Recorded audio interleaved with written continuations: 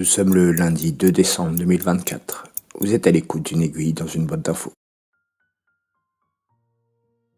La Chine envoie des responsables pour étudier les effets des sanctions sur la Russie alors qu'elle envisage une invasion de Taïwan.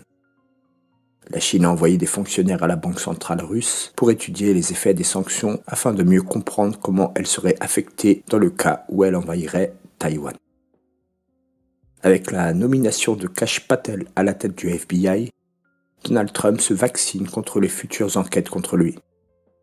La cible de Patel, la corruption de l'État profond. Fake news. Sur TikTok, un homme affirme faussement que la France l'envoie de force combattre sur le front en Ukraine. Dans une vidéo vue plus de 1,3 million de fois, cet homme affirme avoir reçu une convocation qui l'oblige à rejoindre l'armée pour aller au front en Ukraine. Pourtant, cette affirmation est complètement fausse. Est-il stupide ou est-il payé? Là est la question.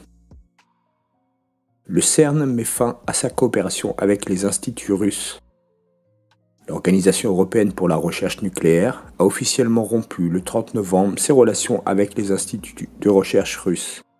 Cette décision signifie que quelques 350 scientifiques russes seront désormais expulsés du CERN basé près de Genève sur le territoire suisse et français. Une femme condamnée à 15 ans de prison pour avoir aidé aux frappes russes dans la région de Jitomir. Selon les services de sécurité ukrainiens du SBU, la femme aurait contacté les services des renseignements de la défense russe du GRU via les réseaux sociaux en proposant de servir d'informatrice. Un logiciel de piratage russe utilisé pour voler des centaines de connexions au ministère de la Défense anglais.